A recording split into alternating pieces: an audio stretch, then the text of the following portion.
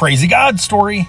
When my full time job used to be fixing cars for broke people for free without ever charging anyone for any work, God always provided all of my needs, and my life became unexplainable apart from God. This was my business card. It was full service nonprofit auto repair. On the back, it says Affordable Auto Repair is dedicated to sharing the love of God by offering free auto repair to those in need.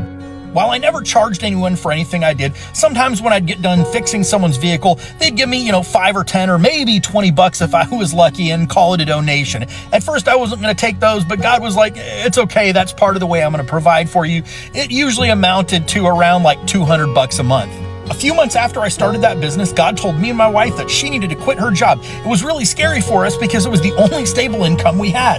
However, we decided to take a step of faith and obey God, and so without having any other job lined up, she quit.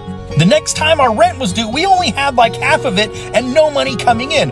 Me and my wife prayed about it and we felt like God was telling us to write a check. Even though we couldn't cover it, He told us He could. I wouldn't tell people to write a check that they couldn't cover normally, but when God tells you to do something, you gotta obey. So I obeyed God and took a check to my landlord. As I was leaving his house, I got a phone call from a guy who worked at a ranch. They had two vehicles that were broke down that they wanted me to fix. He told me they were going to pay me like I was a regular shop and they refused to not let me take that money. I made enough from that to cover the check for the rent, pay all my utilities for the month, and stock my fridge and pantry full of groceries. And what blows my mind is the check I wrote my landlord got delayed and didn't hit my bank until after I got paid from that job. The next month, a construction company called me. They had a truck that they wanted me to fix. They offered to pay me half of the $6,000 that Ford was charging them. The following month, my wife got a job as a property manager at an apartment complex. She was required to live on site. So, in addition to her regular salary, they gave us a free apartment and paid our water and electricity. I did mobile auto repair out of a beat up car. There was a couple that wanted to bless me, so they bought me a work truck.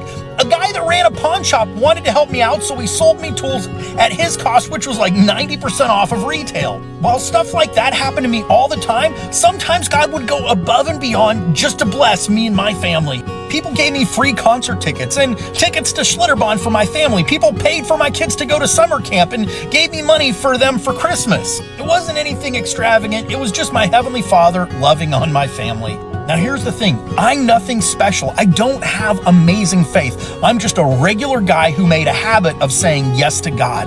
God will take anybody who says yes to Him and lives by faith and turn their life into a crazy God story. If you want to hear more of my story or learn how to get to a place in your life where living by faith and following Jesus is as natural as breathing, check out this book I wrote. You can download a free PDF copy at crazygodstory.com and also find links there to the print edition.